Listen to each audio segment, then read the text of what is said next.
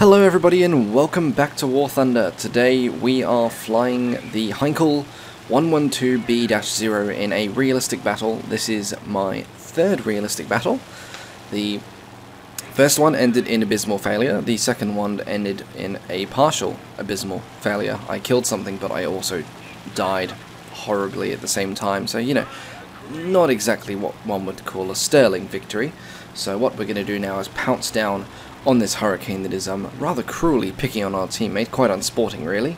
So we're going to go down and try and uh, intercept before, um, our, oh. Yes, he's on fire, isn't he? Yes, he is dead. He is definitely, definitely dead. Right, okay, avenge. Right, in range, fire, okay, yep, okay, let's pull up, pull up. Bugger! Hey. Right, let's try that again. Come on, Fritz, do your worst. Right, Yes. Yes. No! Right, third time's the charm. We can do it. It's only a P-47. Small fry. I think. Nope, we lost a wing. That didn't go well. Okay. Ah, uh, the engine's gone. That's what happens when you pull negative Gs, and I've lost both my wings. Help! Help! No, no. Oh, you son of a Okay, night fighting. They will never see me here. Oh my god, they've got laser beams. What? What is that? What is that? Oh, me. Hmm. Hmm. Okay, I think I'm finally getting the hang of this now. Okay, here we go. Open fire. Come on, come on, come on. Yes. Ah, he's burning in the sky. Take that, Fritz. Look, look at that. Yes, that was all me. Yes, there we go. Aircraft destroyed. And let's do it a second time. Fire. Excellent, we got a hit, but that wasn't much else, and oh my goodness, what was that? Okay, no. Oh, we're losing coolants and fluids, stuff it, we're buggered anyway, let's try and take down this guy. Come on, come on, come on. Oh, good lord. Stay in one spot. Did we get a hit? No, we didn't. Oh my word, more tracer fire. Okay, evasive. Oh, there's another guy right here. Let's take him out. No, don't hit the ally. Okay, that's good. That's fine. Okay, where is the guy? Oh, my wing just came off. Fantastic.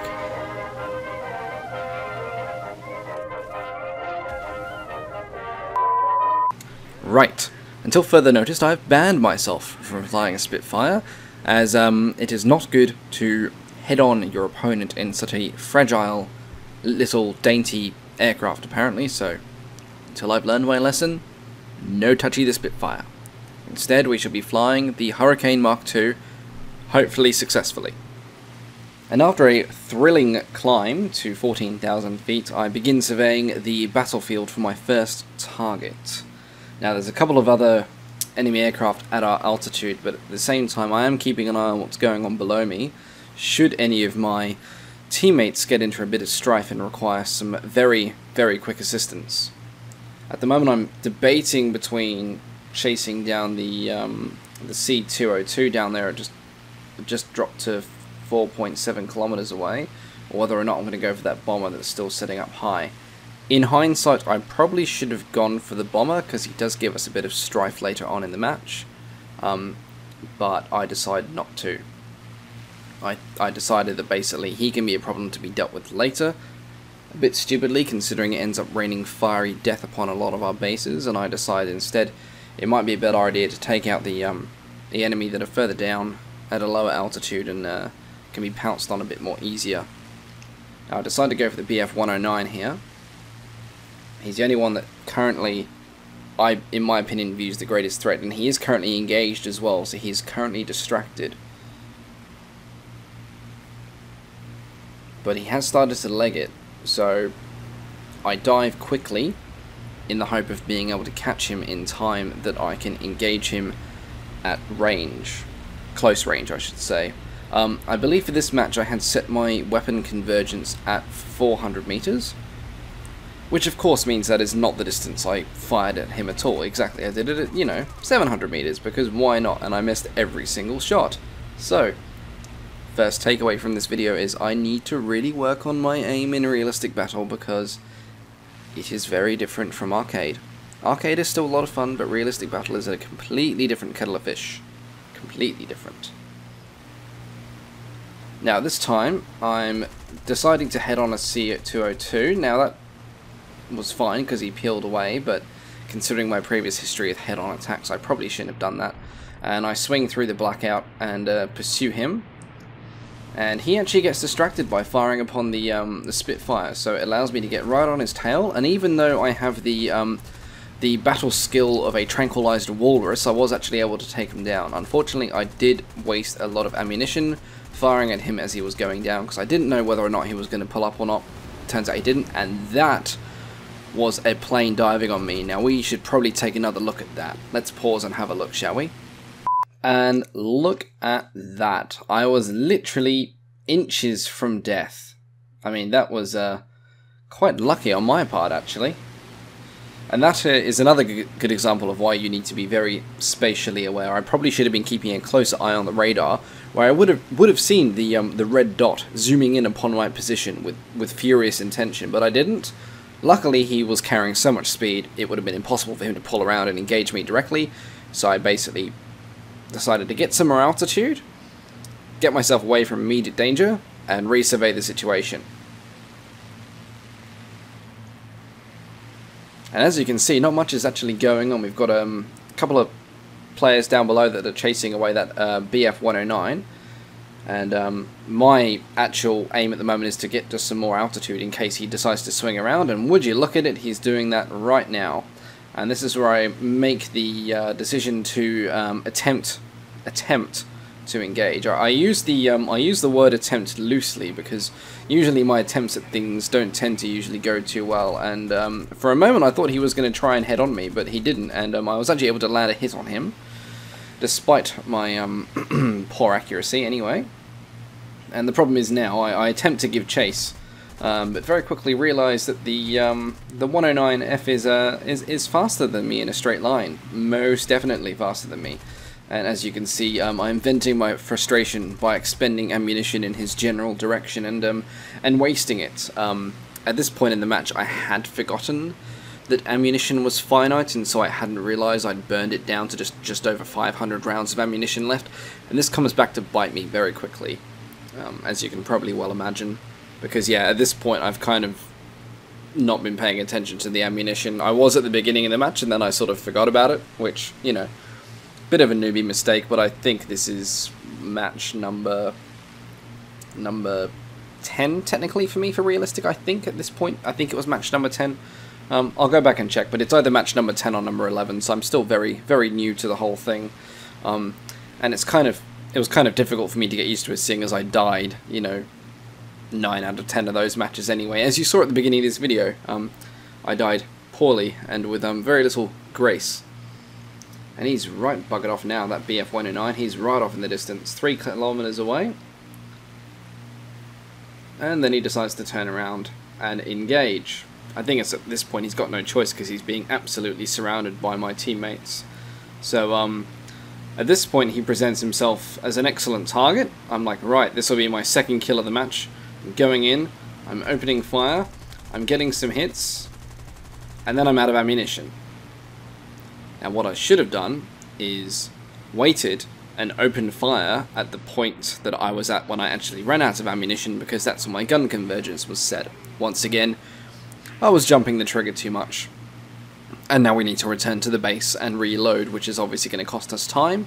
Uh, the match is still running, of course. Um, but yes, what probably wasn't the, uh, the the best best decision I've made in terms of how to use ammo and when. So anyway, let's uh, let's fast forward this now and get to the um, the refitting of the plane, shall we? And here we are, coming into landing and um, avoiding our allies as they are taking off to re-enter the fray. Throttling right down and just going for a, a gentle, gentle touchdown along the edge of the runway. Look at that. I landed with the air and grace of a swan. And we're just slowing down now, and we've tipped over. Another happy landing, hey? Ah, well, it could have been worse. I could have crashed. At least I made it down in relatively one piece anyway. Right, let's reload and get back into it. And here we are, back at altitude. And uh, some new mission targets are about to appear in the form of um, soft and easy to destroy ground forces, which is um, just my cup of tea actually. I found myself to be quite um, a proficient ground attack player. I think um, I'm actually going to explore a lot more of ground attack aircraft actually moving forward. It is it is a lot of fun. Dogfighting is fun as well, of course, but um, I don't know. This is something I like about ground attack targets and um, you know bombers and things like that. So it's going to be something I'm definitely going to um, look at in the future, um, and definitely do um, you know quite a few videos on that as well. Okay, and here we are making our uh, run at the ground target, and that BF-109 has just reared his head again after um, buggering off before to rearm himself. Uh, now the question is if he's going to go for me or if he's going to go for the P40 that's making a run for the other ground units. Um, I suspect he's probably going to go for the P40, seeing as the uh, the P40 is uh, a higher threat. He's got far more kills than me this match so far, and yeah, see he has gone for him. There he goes. They're they're tussling here, and I um, I decided to go over and lend a hand, but um, he's actually diving away, and um, yeah, he he decides that I am in fact a, a better target, and so I, I, I put the hammer down, um, keep an eye on him, and I'm going to make a, a, run for these ground targets and hopefully take out some of those. I've actually, at this point, almost resigned myself to death, um, because this uh, this particular pilot's already got quite a few kills this match, so I'm, my, my main aim now is just to try and help my teammates and take out as many of these, uh, these ground targets as possible. So I'm pulling it right down, going to take it to the deck, pull up some speed, get a nice shallow attack angle on these vehicles, and miss. Kind of.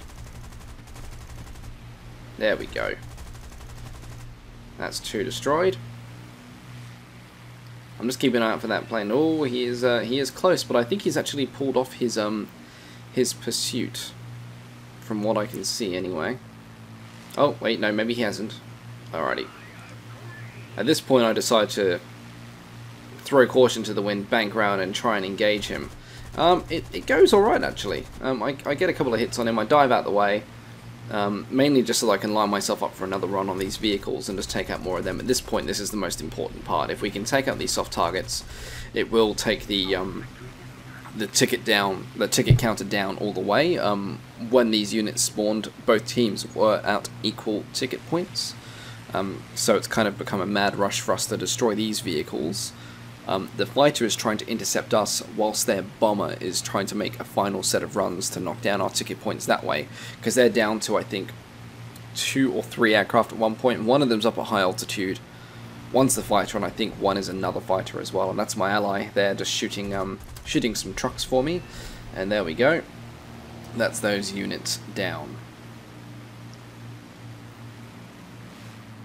So at this point, I look on, look around the map and just see uh, see where the other ground targets are, because there are still a couple of them kicking around there.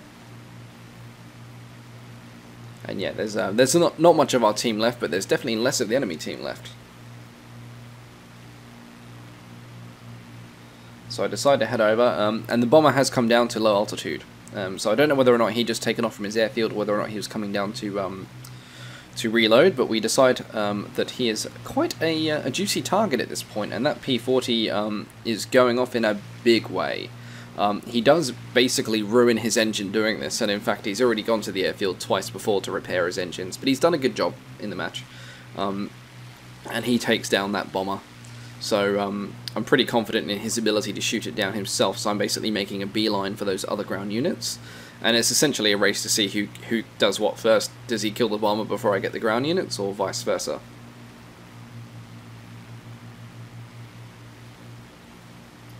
And uh, we're about to get the answer to that question here, because he's um, engaging the um, the bomber now, well within firing range, and any second now he will um, take out the bomber. There we go. And that was the um, that was the final aircraft on the team. Uh, that BF-109 was taken down just before as well. And um, that is the match one. And I survived. I didn't die, mainly because I actually learned how to fly somewhat defensively and aim slightly better than I have before. I was able to hit some things after a couple of attempts, and I even made, you know, third place on the team, which wasn't too bad, you know. Um, not bad at all. So I'll have a quick look at the scores. So I believe I got one aircraft kill um, and four land units destroyed, and we got some um, excellent RP as well, which will be um, unlocking the next Hurricane, which is what we're working towards. We've um, unlocked the first little bit there for the fuselage repair. We'll work on the radiator, and um, I think then what we'll probably have a look at is uh, working on the weapons as well. But yeah, there we go. Uh, first successful completion of a realistic battle um, that didn't go completely horribly wrong. Um, I hope you all enjoyed it. And I'll see you next time. Thank you so much for watching.